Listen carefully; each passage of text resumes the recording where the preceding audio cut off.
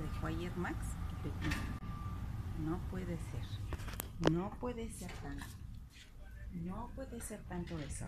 Vean, vean. Él es dueño de la casa. ¿Verdad, hijo?